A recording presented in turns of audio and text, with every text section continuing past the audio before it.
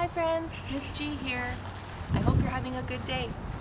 I really hope you enjoyed this video of the Eric Carle book, I See a Song.